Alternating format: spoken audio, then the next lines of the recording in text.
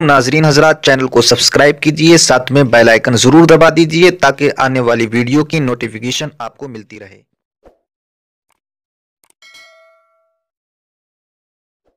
میرے بھائیوں میں تمہاری منت کرتا ہوں، تمہارے ہاتھ جوڑتا ہوں۔ کاروں میں بیٹھ کر جو سفر کر کے گانے سنتے ہو نا، ہاتھوں میں موبائل لے کر جو راتوں میں بستر پہ لیٹ کر زنا کے مناظر دیکھتے ہو نا۔ میرے بھائیوں آمنا کے لال کے صدقے اللہ نے تمہیں ایمان کی دولت دی ہے۔ بہت بڑی نعمت ہے۔ اس کو سنبھال کر لے جاؤ، اس کو اپنی قبر میں لے جاؤ۔ اللہ اکبر، کیا سوچ کر کے بستر پہ لیٹ کے زنا کے مناظر دیکھتے ہو؟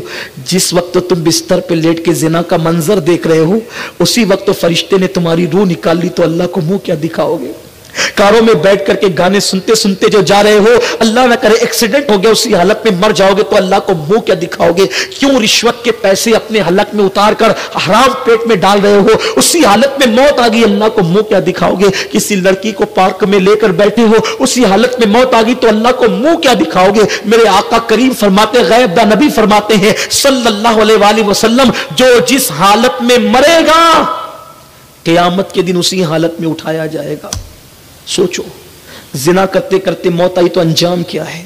شراب پیتے پیتے موت آئی تو انجام کیا ہے؟ حجام کی کرسی پر بیٹھے ہو اور حجام تمہارے چہرے پہ وستورا پھرا رہا ہے اور تم داڑھی منڈا رہے ہو، نبی کی سنت کریم منڈا رہے ہو، اس وقت تمہیں موت آئے گی تو کیا ہوگا؟